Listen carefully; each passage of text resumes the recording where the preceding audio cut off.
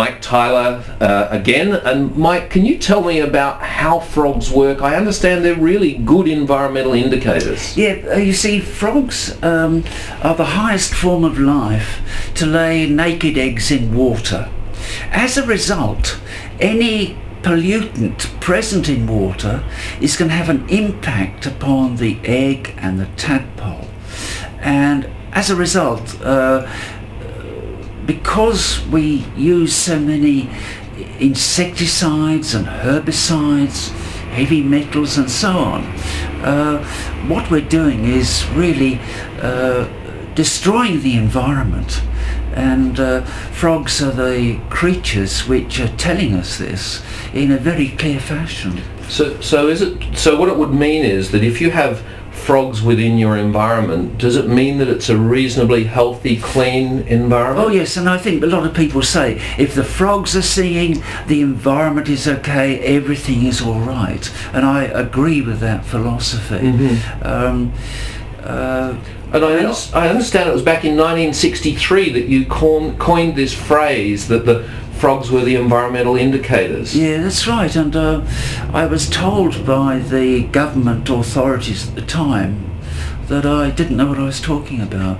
And I, for example, in the case of the cane toad, which is now, as you know, a major problem, in 1963 I urged the federal and state governments to take action to control this species, and they said, you know, just go away. Yeah. Yeah. And uh, I mean, I, I think therefore I think I've been. It's been demonstrated that what I was saying was correct. I, I don't get any pleasure out of that.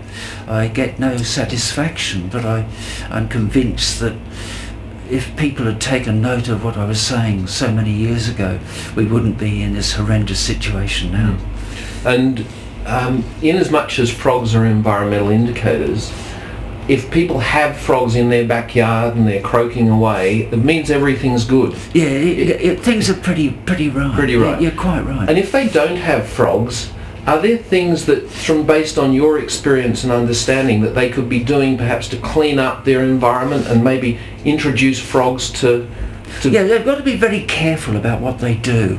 Um, for example, um, there are a lot of um, uh, uh, sprays and things that people are encouraged to use in their gardens and they shouldn't be doing that. I mean, you, uh, you shouldn't be looking at wetting agents, for example. What kills frogs are what are called surfactants, soap, uh, essentially soap uh, products.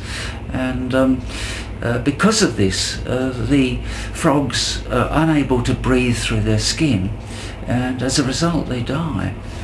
And you mentioned in an earlier conversation that you're working on on the interesting chemical compounds that you can extract or obtain oh, yeah, from yeah, the that, skin of frogs. Yeah, that's a d- different issue altogether. And I, I say I'm a little bit pragmatic about conservation. I think that if we can demonstrate that there are benefits to humans from being able to um, uh, show that um, uh, if we care for something, we're going to get a benefit in the long run, uh, then people listen more closely than they would have done otherwise. And if there were just two or three points that you were able to summarise that people could do in their day-to-day lives to, to try and make sure that we have an environment that's healthy for frogs, what would they be? Uh, the first one would be uh, to stop using uh, insecticides and uh, herbicides.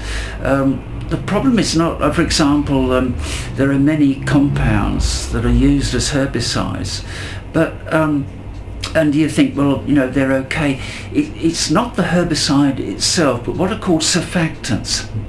The, they are the soap products which are added to the herbicides to make sure that they disperse across the leaves, make them more effective and therefore economically better. But it's these surfactants that kill the frogs. So pretty much any conventional agricultural produce that's sprayed with herbicides, pesticides, these are all somewhat problematic. Yeah, for, they are. Yeah, that's uh, quite right. And so if you were to look at an environment that was better, you would say move away from those chemical uh, products and move Yeah. perhaps more towards organic type Yeah, produce. Well, and- I guess uh, you see, um, just ignore the surfactants, eliminate them totally, um, and that way it's more expensive to control weeds and so on, but. Uh, you're not despoiling the environment, you're not killing off the creatures that live there. Well, thank you very, very much, Mike, for this insight on frogs and uh, how they work to tell us about the environment. It's a great pleasure.